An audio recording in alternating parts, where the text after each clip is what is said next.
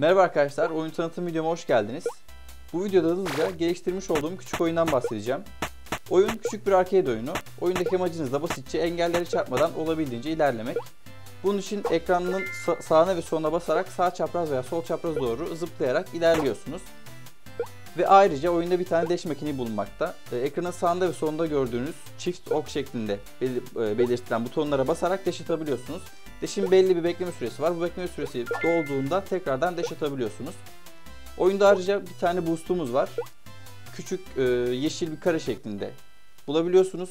Bulduğunuzda boost'u alırsanız karakteriniz yeşile dönüyor ve kırmızı blokları kırabilir hale geliyorsunuz. Ve her kırdığınızda ekstra puan alıyorsunuz. Yani yeşil boost'u aldığınızda bu bloklardan kaçmak yerine bloklamayı kovala, blokları kovalamaya başlıyorsunuz. Oyunun zorluğu puanınızla birlikte artıyor.